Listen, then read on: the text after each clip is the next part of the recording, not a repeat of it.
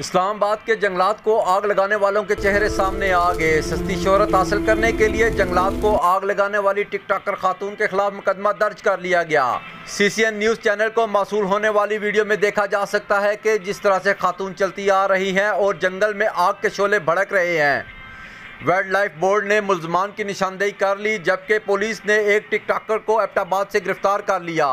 खातून TikToker समेत दीगर मुलजमान की गिरफ्तारी की भी कोशिश की जा रही है। वाइल्ड लाइफ बोर्ड का कहना है कि जंगलात में लगी आग के करीब रक्स करती मॉडल कौन है, इस हवाले से भी मालूम इकट्ठी की जा रही हैं।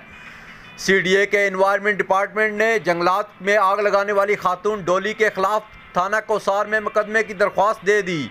मकामी पुलिस ने तहरीरी दरख्वास्त के मुताबिक टिक टाकर खातून समेत दीगर मुलजमान के खिलाफ मुकदमा दर्ज कर लिया।